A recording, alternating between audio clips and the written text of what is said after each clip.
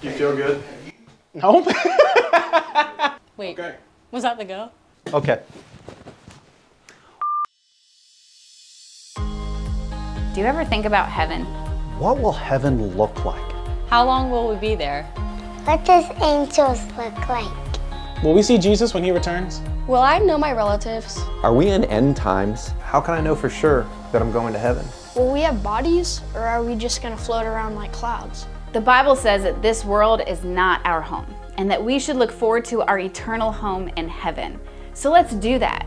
Let's discover together why there's no place like home.